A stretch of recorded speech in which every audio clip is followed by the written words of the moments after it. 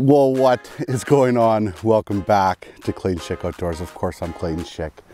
This is the beautiful outdoors, and I might have possibly the nicest day of December right now, today. I'm gonna take advantage of it. I'm gonna fish outside a little bit. I did bring the flip over because I like to fish into the evening a little bit too as well. And just enjoy my day. But there's like zero wind right now. It's like zero degrees Celsius, so that's 32 degrees Fahrenheit, and it's supposed to get a little bit warmer yet. What a day, like, I'm gonna enjoy it. As you can see, I got the side-by-side -side on this body of water in particular. I've got eight, nine inches of solid, clear, beautiful ice. I did go on an adventure yesterday with my buddy Mr. 30 we checked five, six spots on a different lake and we ended up not fishing the whole day. I'm gonna roll a short little clip right here of how fast ice can, can change.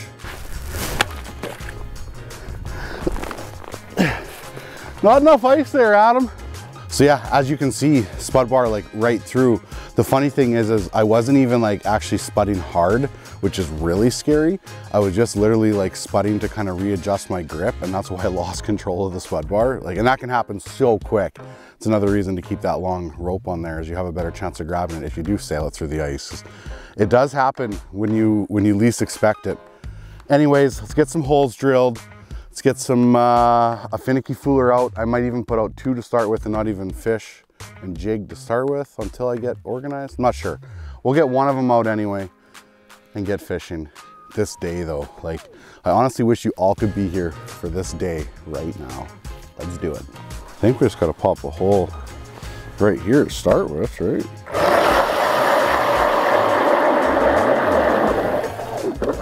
What a day.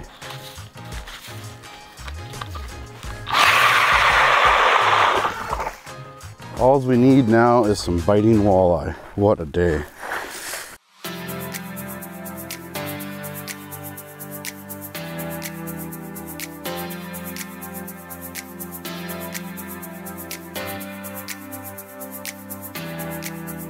probably one of the best things about fishing outside for a bit is I can decide if I'm gonna like stay here for the whole day or whether I'm going to move or I need to be say where my finicky fooler ends up. It's nice when you're not set up.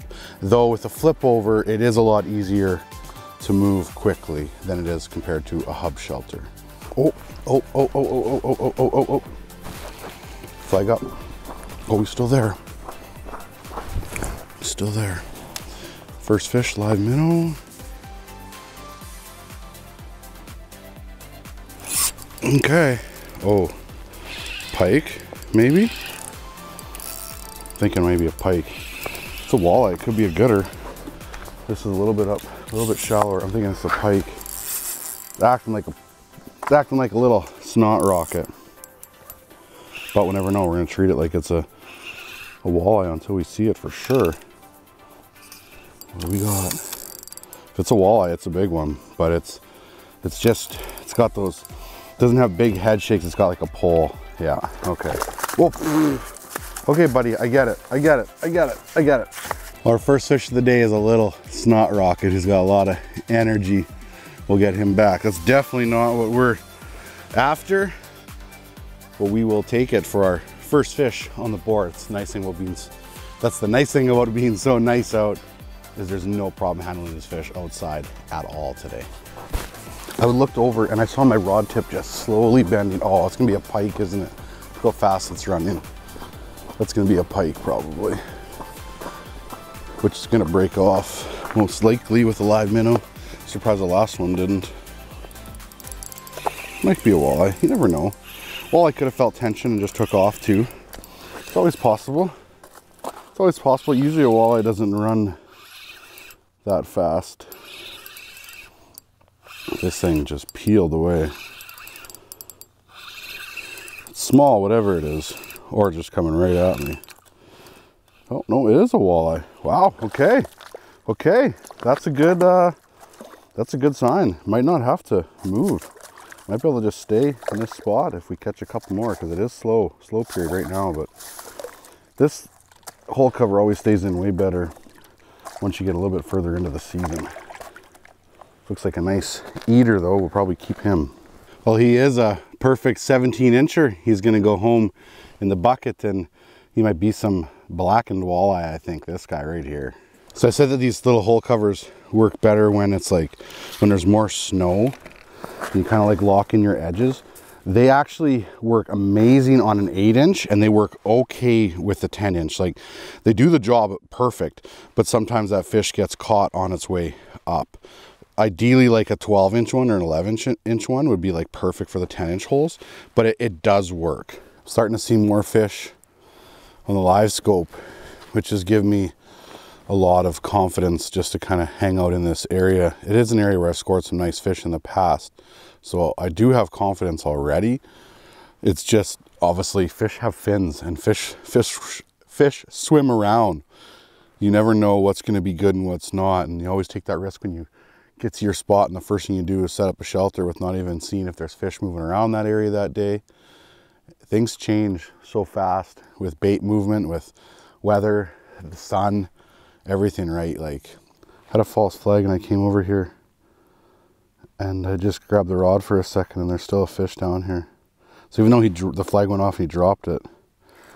He came back, which is a lot of times with the walleye, you definitely, if the flag goes off, you get there and there's no fish, just fish it for a few seconds. You easily could catch a fish that way. Okay, our third walleye of the day, what a little 15 incher.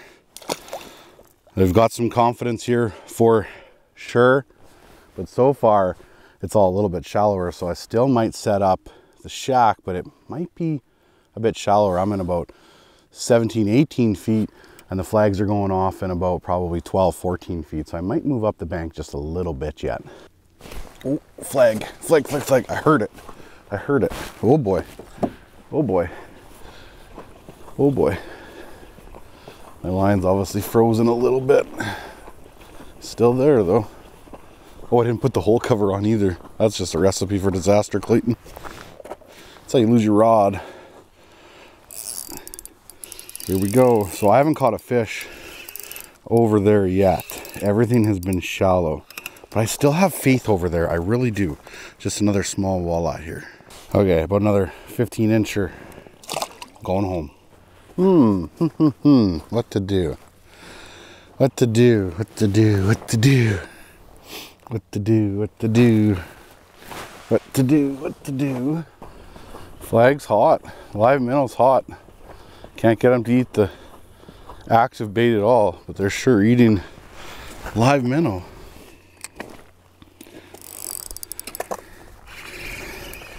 Question is, will it be a walleye or a pike? Whatever it is, it's not that big. It's not that big small, small pike, small pike.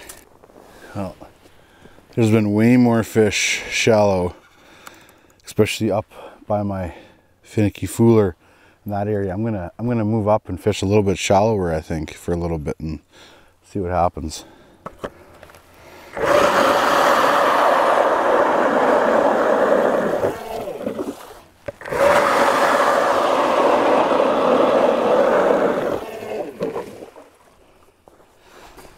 Oh geez, just getting set up over here.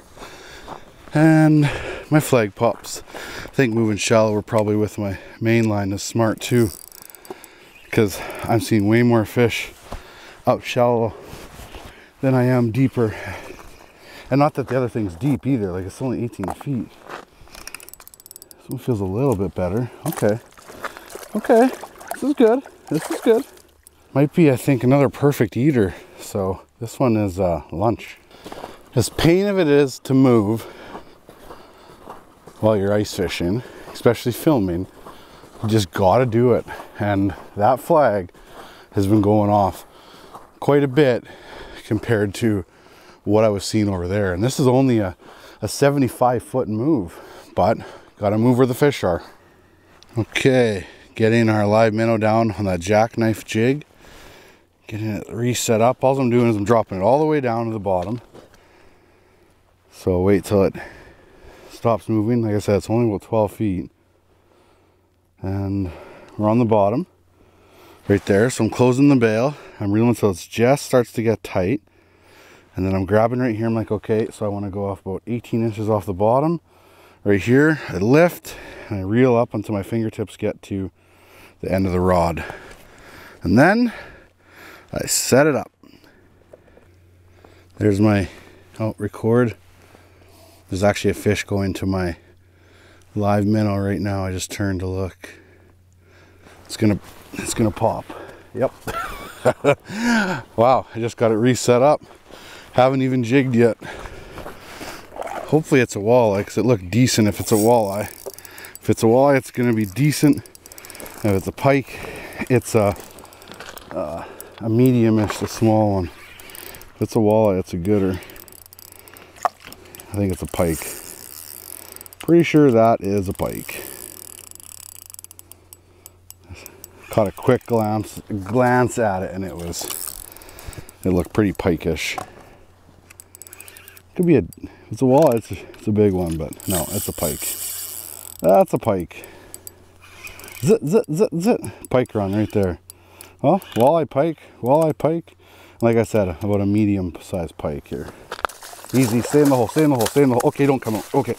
Okay, I'm trying to set him down quick. Hooks out. I'm not he's got lots of energy, so I'm not going to show him off again, but about a 30 inch pike probably. Okay, well, let's get that set up again. That happened quick. Oh geez. I just got this drop back down again and a fish is on it already. that is amazing. And this time it's a walleye. Walleye pike, walleye pike. Looks like a perfect eater too. Hmm, okay, okay. Another one for the frying pan. Well, just for the record, I haven't caught a fish on the jigging rod yet. It's all been on the finicky fooler. And the really ironic thing is, is I went for so many years with just fishing inside the shack. Now, granted, it's easier for the video purpose, but I just thought, you know what, let's utilize my second line more often. And when I'm not having two lines in the shack, let's put a, a dead stick out. I do that lots with like pike fishing. I'll put a pike rod out when I'm walleye fishing, but right now it's actually set up for for walleye. I've caught some pike on it, but it's definitely set up more for walleye than for pike. Might be coming this way. Oh, something ate it right off the bottom. Might have been him. It did charge over there quick. Finally caught one on the jigging spoon. Oh, I got another fish down there. Drop down as I'm showing this off. Get down there, spoon. Get down there, come on. Okay, well, little guy, but I finally caught one on the active rod.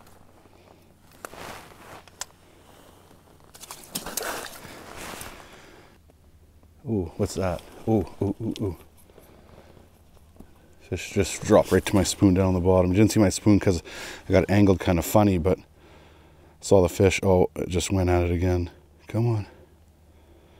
Come on. It's not very big.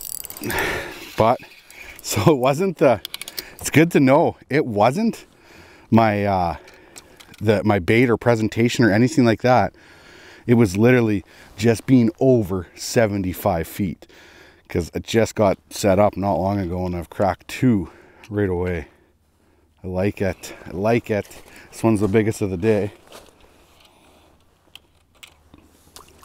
Nice fish. Nice fish. The old dinner bell right there. It ain't chartreuse, it ain't no use. Okay, biggest of the day, probably about a 21-ish. Going back, 75 feet. That's literally all it was, 75 feet. So before I was like, right now I got this structure where, you know what, I'll zoom out here a little bit and I'll show it. So to the right of me drops off deeper, right? And actually there's a fish there at 50 feet right where I was set up. Who knows, maybe it's time of day too, but we're just gonna say it's a 75 foot move. Anyway, I've got deeper water over to my right and then it comes up and it plateaus at like 10, 11 feet here for a little bit. And then it's got this another little hump right there that's like a foot. It's not very big, but it does come up a bit. So it's like, comes out of the, the deeper steep bank, plateaus just a little bit, and then kind of up again to another lift off. And right there in that uh, plateau is where I set up, oh, that live minnow. I just heard my flag pop and moved over the dead stick here, not the dead stick, my jigging rod too, and boom. Okay, okay. This is deadly. I was able to hear that pop because there's no wind. It's right behind me. Quite nice. Anyways, we are on fish and we are definitely not going anywhere for the night now. Oh, perfect, perfect, perfect, perfect.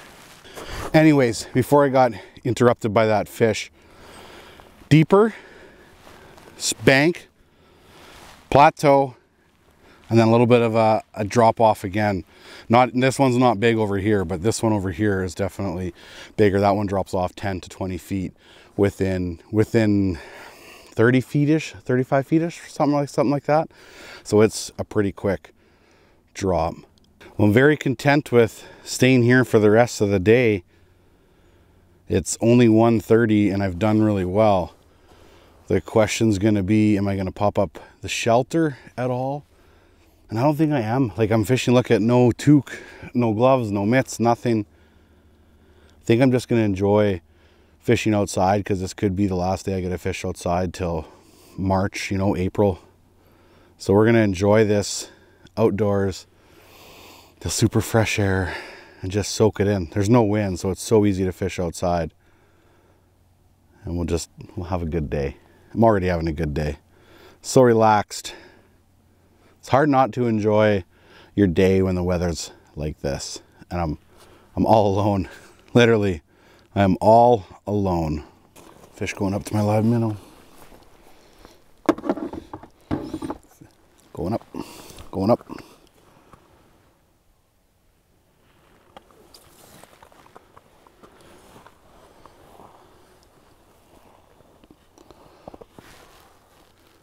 Come on, go up and grab it.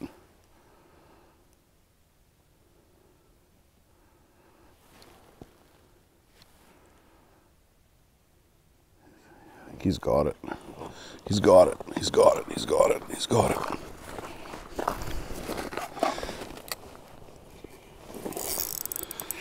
This is the perfect rod for this. The drench. The drench. We're coming, buddy. We're coming. It's shallow, shallow water, so don't have much time before they're at the top of the hole here. Oh, maybe my, maybe my fourth eater right here. I'll have my limit. Sometimes I take my limit home. Sometimes I take nothing home. If I'm gonna clean fish though, I'd rather just clean four and then I'll have them fresh that night or the next day. We'll let this one go. He's 16. We'll go for, since we've already got three, we'll, we'll leave room for one that maybe is hooked deeply or like the perfect 17 and a half incher. I'm gonna have to say these chairs are pretty comfortable. When you look at them, you're like, that does not look comfy at all. When I first got it, I was like, oh, I'm not gonna like that chair. And then I asked somebody, I'm like, what's the deal with the chair? And he goes, have you spent any time in it yet? I'm like, no. He's like, just sit in it. He's like, you'll you'll see. He goes, we have a sister company that designs tree stands. So they design chairs to sit in all day. So he's like, we use like what we do in our tree stands, we use it in our flip overs. And I'm, I'm actually really comfy. They don't look comfortable at all. But this is one of the more comfortable chairs I've sat in. Like, that's not a modification or something like that. This is, this is nice. And this is the Eskape 2800 series. I just don't think I'll be popping it up today at all. So we'll show it off sometime in a future video. But that's what I'll be running for a flip over this year. And we're getting to that time now where I can I can spend some time. I could almost have my sled out here. There's a skiff of snow. I feel like I could have brought my sled. Actually, I didn't need the side-by-side. -side. I'd rather use my snowmobile for sure. When I have Carter with me, I'll take the Ranger most likely. Ah, sled too. I got it. It's two up seat. You can easily ride two on there, but gonna be spending some time in a sled as well with this thing. Touring around, touring around northern Manitoba a little bit, something like that. Yeah, backcountry stuff, my favorite. Oh, oh, fish came in here. Come on, eat it off the bottom. Right off the bottom. That fish came in from over here somewhere, I think. Walleye. Walleye. I've seen lots of walleye cruise around on the bottom. It's really good for this time of the night. Or time of afternoon, It's not night. It's definitely not night yet. It's a little guy, well, a medium guy, probably. That one would be close to 17-ish. I, but I might just wait till one gets hooked deeper for, it. like I said, a selective harvest for the last one. December is easily my favorite month to fish walleyes through the ice. That's why you see I get a lot of, I do a lot of walleye videos early season. These walleyes are just, they're, starting to eat aggressively for the winter. As in, they don't start to eat very much through, they don't they don't eat a lot throughout the rest of the winter when it starts to get really cold. They go deeper, they slow their metabolism down. They're just, you can still catch them midwinter, just not as many. You can still catch big ones though in midwinter too, if you set up on some right areas. But again, like I said, you're not going to catch as many fish. And you have to really be careful too, because they do spend time deeper. You have to really watch out for barotrauma issues with them. You don't want to be hurting those Walters. Oh, oh, fish here coming in plus one right below me. I feel like this one coming in might be a little bit bigger than this one though. So we're gonna try to get back down there quick. Okay, okay, okay, come on, come on, fast, fast, fast, fast. Easy, easy. I don't see that other one anymore, but we're gonna still drop down. He might be in the area. Oh, my flag just went too. Okay, maybe he went over there then. And see if he's still on there. Yep. Oh yeah. Oh yeah. Oh yeah. oh, it's ripping. Oh, this it must be pike, right? this is a walleye. It's gonna be a nice one. That's probably a pike. Question is, how big of a pike? Give me a nice incidental 40 incher, right? But that's the dream anyway.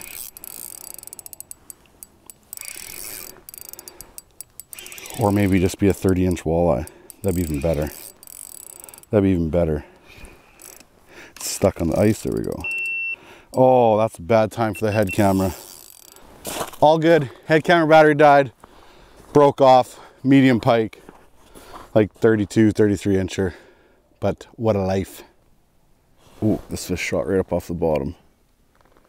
Oh, it shot up off the bottom and ate it. Oh, Clayton, you donkey. So fish cruising in here pretty quick from the from the drop off.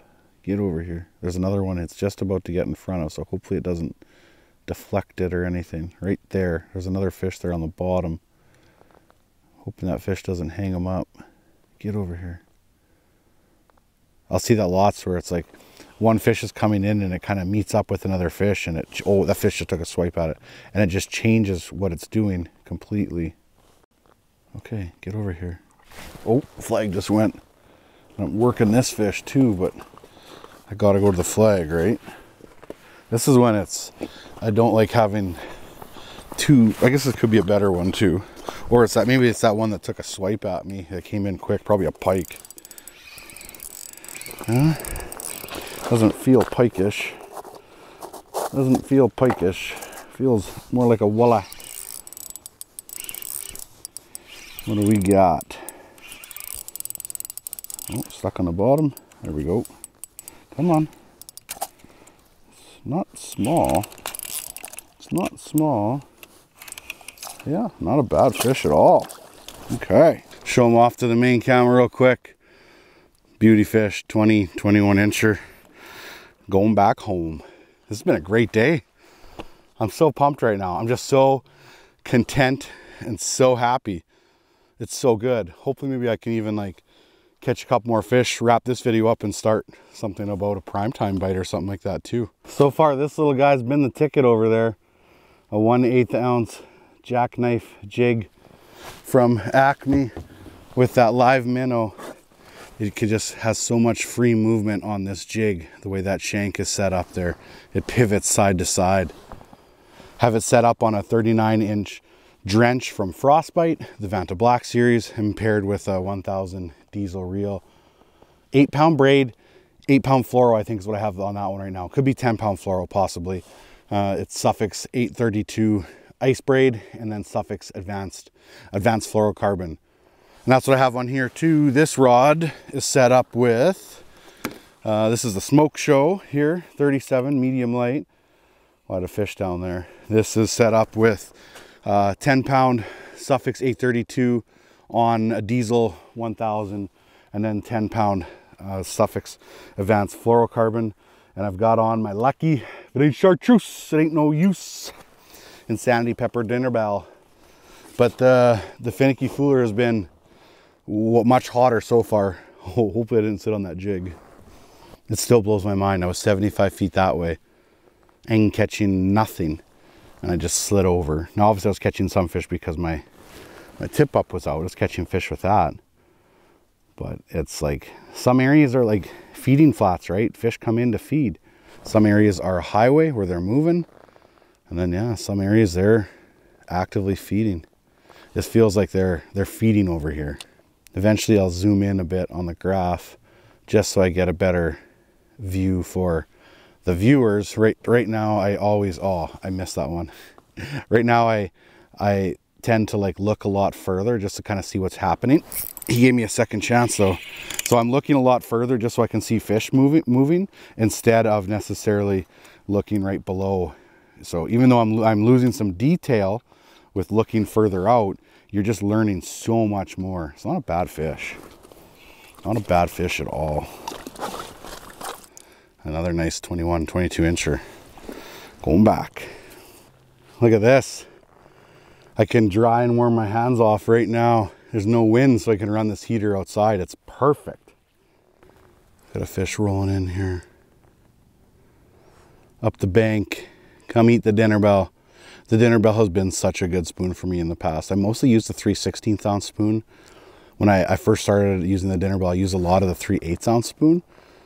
But when I'm using the 3 16th ounce, sometimes I'll use bait, minnow head, or an eyeball something like that. When I'm ripping the bigger spoon, the 3 8 ounce one, I don't use bait ever. I just rip it pretty aggressively, muck around in that dirt down there, pop it up, and then kind of once in a while I'll play with it like this. But this is more like for this spoon when I'm like fishing for fish that aren't as aggressive and I'm using the smaller spoon, the 3 16 ounce with 3, 3 16 ounce with bait. Then I'm like trying to like kind of just coax them up a little bit, right?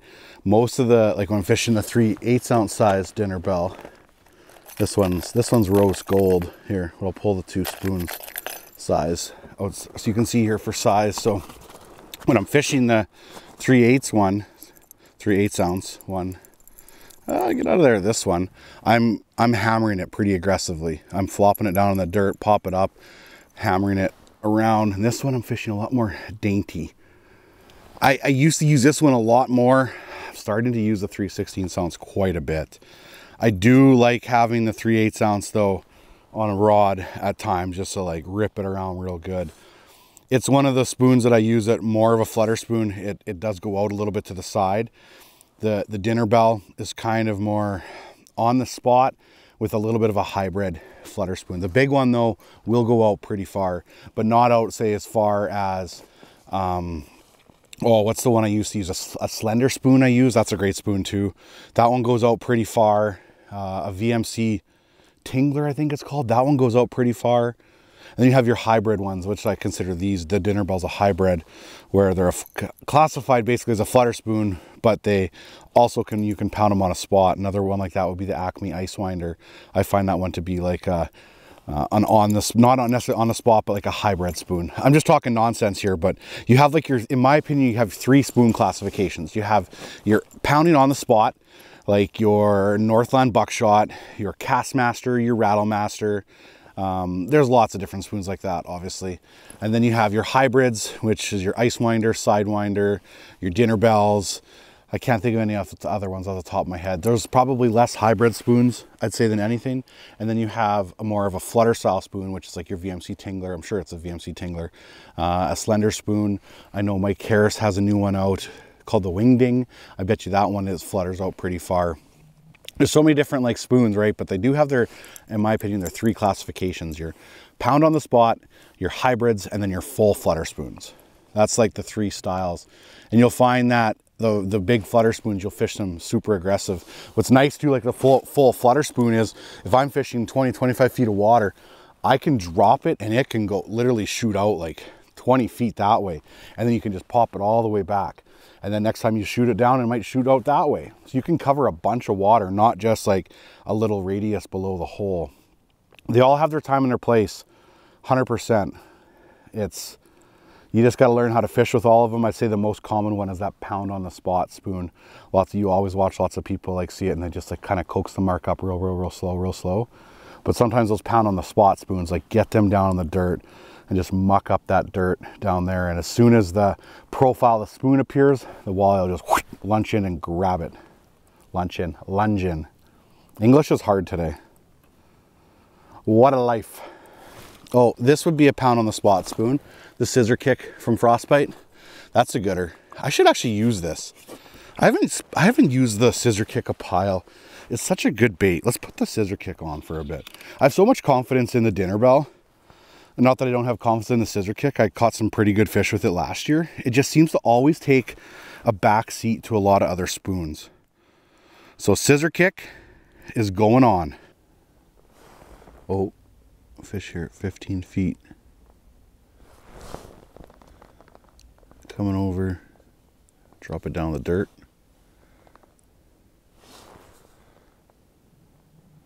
He's coming. He's coming. He's going away. He's going away.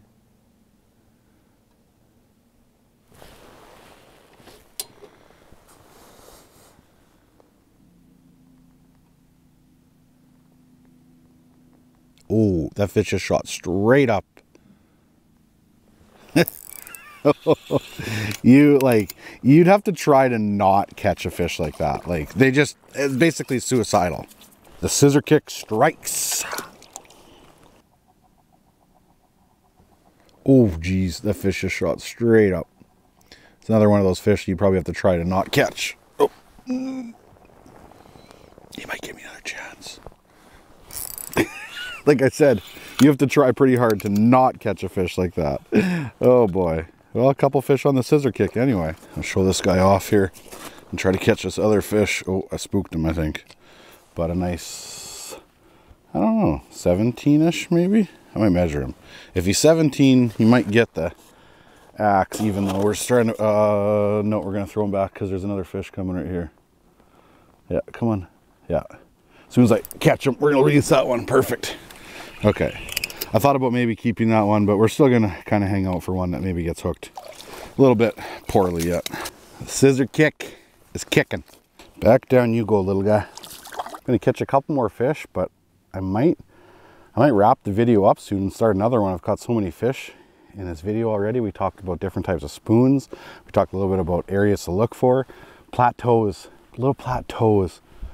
You know, like, it doesn't have to be a huge one. It could only be like, like 30 feet across, but something that has a consistent depth that's close to a drop off.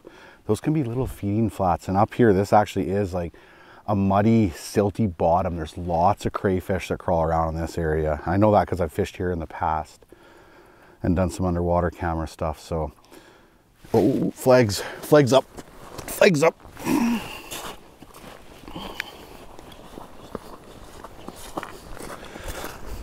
Oof, oof, peeling. Here we go. Here we go. Doesn't feel too bad. I don't think it's huge though. Don't think it's huge. Just a quality fish probably. I really like this rod for a dead stick rod a lot. That's not a bad fish at all. Not a bad fish. Oh, golden, golden walleye. Well, another nice Walter on the tip up, 22-ish, maybe 23 if I'm lucky, but I'd say more 22. Golden, golden walleye. It's only three o'clock. This bite, I feel like could maybe just be getting ramped up, but I've caught over 20 walleye probably. It's been so good. I am gonna wrap this video up, but I am gonna film another one. So if you want to see a continuation to this day, hopefully I can catch a big mama. There'll be another video coming out from this day. And if I don't, maybe just all small fish. No, we'll put another video out because we'll find something else to talk about. I just started to try to make my videos, you know, I can't make them an hour long. Somewhere, find somewhere between 25 to 40 minutes is does quite well for people. But thank you so much for watching and don't forget, get outside.